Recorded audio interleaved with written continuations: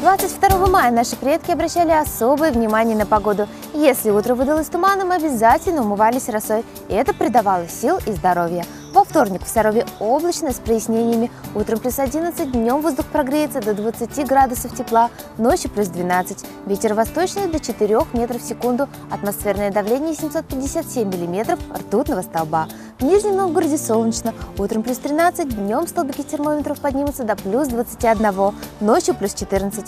Ветер юго-восточный 2-3 метра в секунду. Атмосферное давление 764 миллиметра ртутного столба.